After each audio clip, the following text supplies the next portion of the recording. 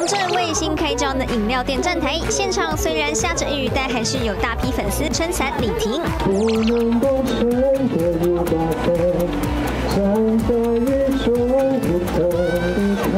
粉丝不只能听到洪正现场唱歌，还可以品尝到洪正亲手调制的饮品。呃，我本身是没有在饮料店工作的经验，不过就是相信等一下依照店长的指示，我们可以非常称职的去调制一杯呃